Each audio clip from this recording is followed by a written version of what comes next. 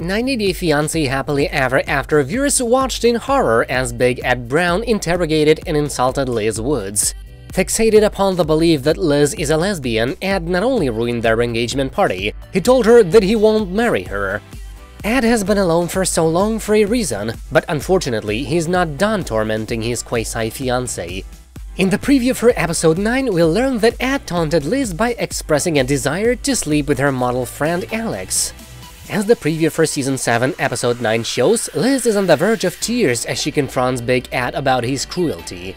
You told me when you were drunk the other night that you would rather sleep with Alex and fuck her than me. You said that.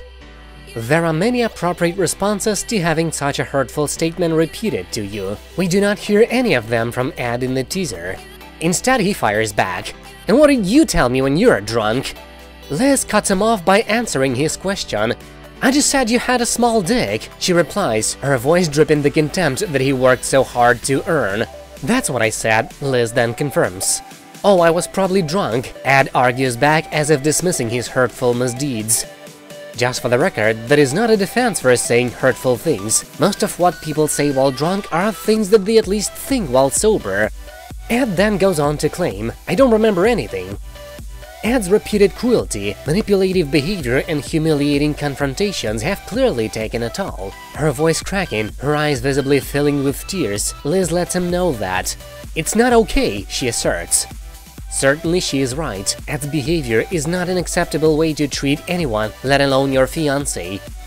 One can only imagine Liz's emotional pain in this moment. Meanwhile, we see Big Ed just stand there and look at her in consternation. While he seems to have embraced his reality TV villain role, which he always was, this season seems to show that he is doubling down. Obviously, this was part of a teaser, not the episode itself. We should take it with several grains of salt. Editing plays a heavy role on 90 Day Fiancé, but scenes usually make sense in context, with a few unscrupulous exceptions. With promos for a new episode, context goes out of the window, it is a teaser and it is doing a job of teasing us. So who is this person whom Big Ed would apparently prefer to bone over Liz so much that he said it to Liz's face? Alex. We've met Alex. She is a model and a friend of Liz's. In fact, like most of us, she has sounded shocked and horrified by how Ed treats Liz. We first saw Alex this season when Ed was photographing her. Ostensibly, he was there to teach Liz how his photography works. Unfortunately, Ed was clearly more interested in lashing out in insecurity when Liz asked a question. Oh, and in flirting with Alex. Now, Ed does not stand a snowball's chance in hell with Alex, which is great news for her. But unfortunately, between her own emotional vulnerabilities and whatever psychological hooks he has in her, Ed still has Liz wrapped around his finger. We all miss back when Ed was just a silly man with mayonnaise in his hair.